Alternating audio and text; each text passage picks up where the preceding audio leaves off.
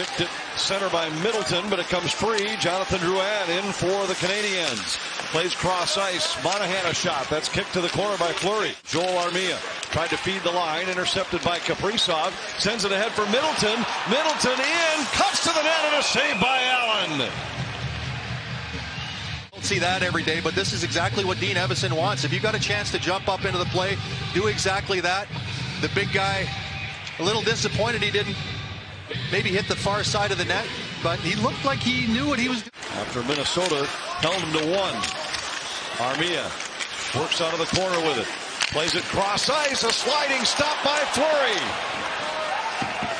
Here early, a one-timer pushing across. Looks like he's seeing the puck very cleanly. Kaprizov plays it around for Dumba. Centered for Zuccarello. Got the heel of the stick on it, but couldn't redirect. Dumba Back in behind. Kaprizov out from behind the net, and Allen makes the save. Last season where he picked the puck up on his forehand and was able to, to wrap it. Centering pass by Guhle goes off the pad of Fleury. Picked up by Anderson. He goes into the corner with it. A centering pass for Gallagher. And he's denied by Fleury again. Fleury has always had Brendan Gallagher's number. Dach carries up high. Suzuki trying to spin away from Spurgeon. Centers. Rossi had Caulfield tied up and Fleury had to make a stop.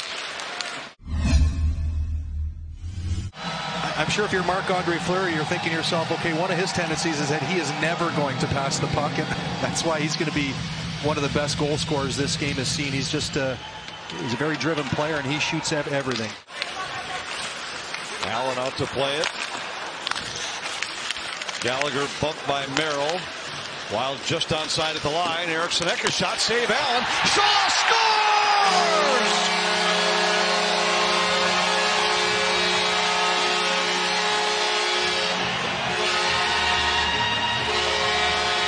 We talked about the Wild keeping their same game simple. This is exactly what I'm talking about. Just get the puck to the net, play north-south hockey, and Jake Allen misplays the puck, yes, but when you've got the mindset of just getting to the net and playing north-south hockey, it puts so much pressure on your opponent.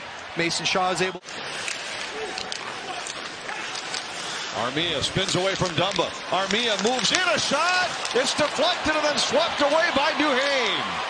Yeah, Armia with a great play to spin away from Matt Dumba. He gets to the front of the net here and he clips Marc-Andre Fleury, who is inside his paint, and that's an easy call for the for the referee that was only 15 feet away, but Kaprizov for Zuccarello and the Wild gain the zone.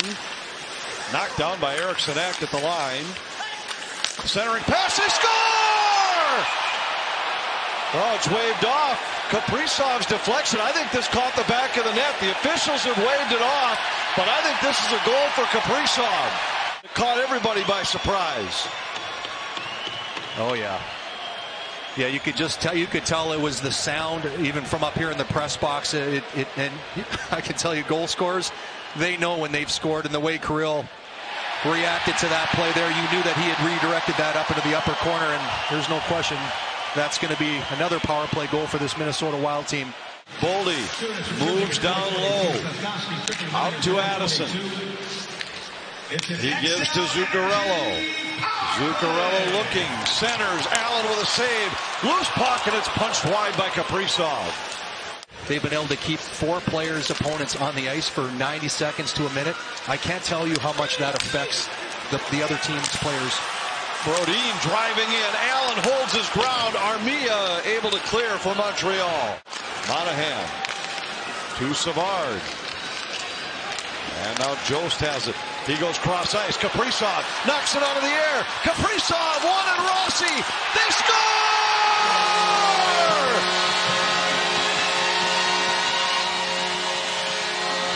Marco Rossi should pick up his first NHL point. He knocked it out of midair on the feed from Kaprizov. And it's 3-0 Minnesota. Rossi here, great play by Tyson Jost, getting it through the traffic on the other side. Look at the hands here by Marco Rossi. Puck up in the air. Ooh, they're, they're going to take a look at that one right there. Again, the he's able to knock it out of the air and get it back over to Kaprizov. It's the shoulders, not the not the crossbar. It's the shoulders of the player. The puck has to be below. He is hunched down a little bit, Marco Rossi. The, the rule is if the player is just standing straight up and down, wherever that player's shoulder is and what do you think, Anthony? That was pretty close again. Zuccarello moves in. Boldy in the slot, looking. Kaprizov fire, saved by Allen.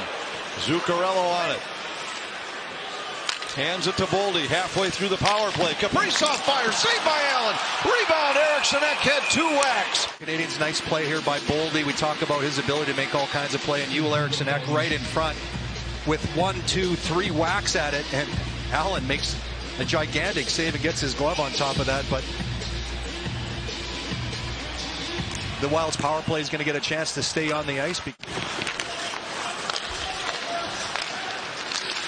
Long shot by Xhekaj knocked into the corner. Two minutes to go in the period. Centering pass. Fleury out to deny with a big pad stop. Steele has it at center. Wild coming into this game 4 1 and 1 in their last six. The Canadiens coming in on a two game win streak. But it was all wild in the second period. Kaprizov. Center. Zuccarello deflects. Brodin has it. Back to Zuccarello. Kaprizov moves into the slot off the post. Looking for his third of the night. Two goals already. Looking for the hat trick. Catches iron. Getting your two best defensive defensemen out on the ice against the five forwards is high-end stuff and great to see. Sliding stop by Fleury against Caulfield. Caulfield. Suzuki.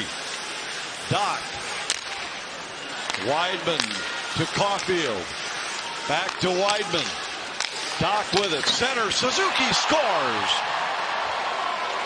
And the power play goal for Montreal has them on the board with six and a half to go.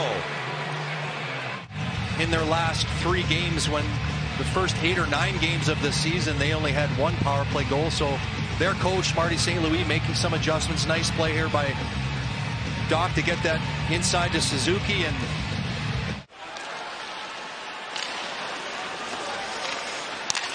And see now, here's Gallagher denied by Fleury. And his mastery of Gallagher continues. Including this one against Gallagher to keep the lead at two. Empty net for Montreal as Dewar gets it out to center ice. Dewar, Boldy, and Eriksson Ek the three forwards for Minnesota in this spot. Spurgeon takes a shot at the empty net. It'll be well wide. Icing waved off, however. Dewar to Boldy, and he scores!